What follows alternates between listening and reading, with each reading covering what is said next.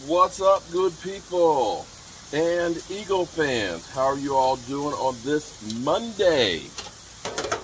Hope y'all are all doing good. I'm doing freaking fantastic. So, I don't want to be like I was last year. Last year, I got up to 278 pounds. That'd be great if I were playing, you know, defensive tackle for the Cowboys, but not so much as a 57 going on 58 year old man. So what we're going to try and do, because we want to enjoy Sundays, we're going to try and do better. I have fasted today. I've not had my usual coffee with my keto coffee creamer or anything like that. I have had literally nothing but black coffee. Black coffee, no sugar, no cream. And what we're going to try and do is we're going to try and do better during the week. Because what always happens is we go through and we have the game on Sunday.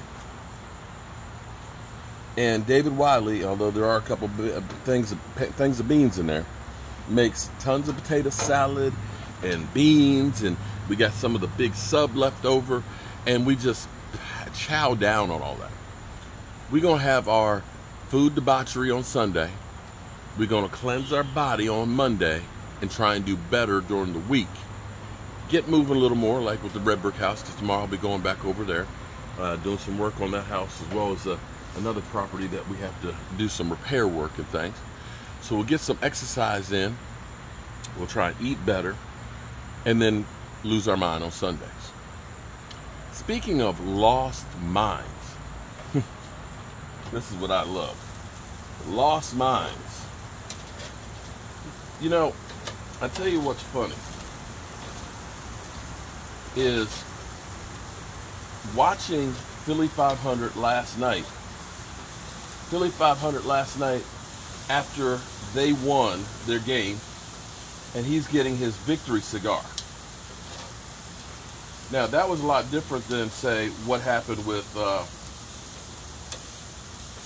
Bad Dog, who literally lost his mind.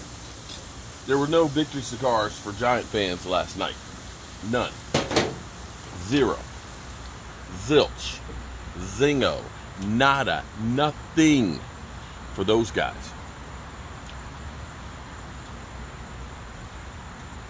It's evident that he was just happy they survived. Now I know Eagle fans won't admit this. Now, now Philly 500 has to be thinking about all those checks that he wrote, the Cowboys and how bad they were. Micah Parsons is nothing compared to Haason Reddick. We got the best front in football, right? Jordan Davis and Nakobe Dean. I think Nakobe Dean didn't he get hurt yesterday? I'm not celebrating. I'm just saying. Did, I'm asking for a friend. Did he get hurt? Because see, it's a short week. James Bradberry got a concussion, and you're playing Kirk Cousins. I know in prime time, so maybe that's not an issue, but it is a short week, and you're going to be short-handed. Here's the thing that's kind of cool for the Cowboys is they played a division rival, a division rival, and the Cowboys scored on a special team play, scored on a turnover, got seven sacks, 40 points, a shutout, all in one team. I think that this is the biggest road blowout and shutout in the last 20 plus years. My Cowboys did all that.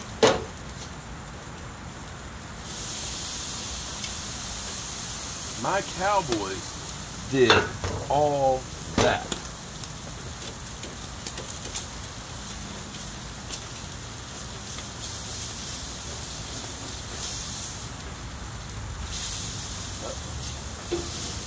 Damn.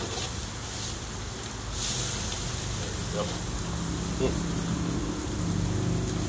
Love that salmon. They did all that. Record breaking.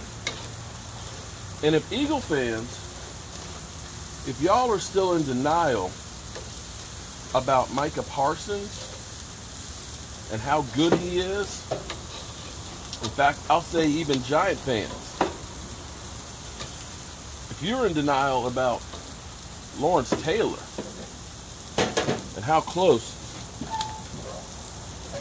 how close Micah Parsons is to him, well, you might want to ask somebody because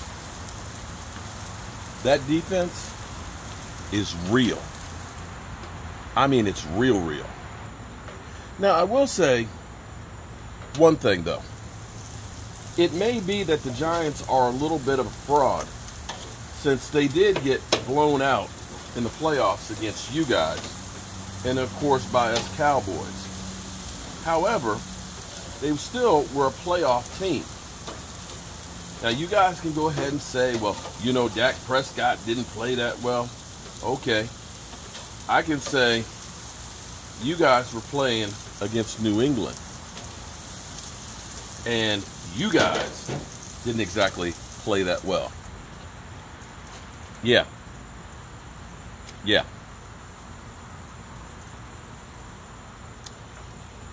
You might sort of start worrying a little bit. In Philly, I have to say, I miss hearing from you like I did every day before. I haven't seen any videos, any text messages telling me the Cowboys stink. Hmm. Kind of interesting, don't you think? Hey, Philly, you still coming for the meats? You know I got the best meats in town, bro. Got the best meats in town. I'll be waiting. I'll be right here, Philly. I'll be right here, buddy. Waiting for you.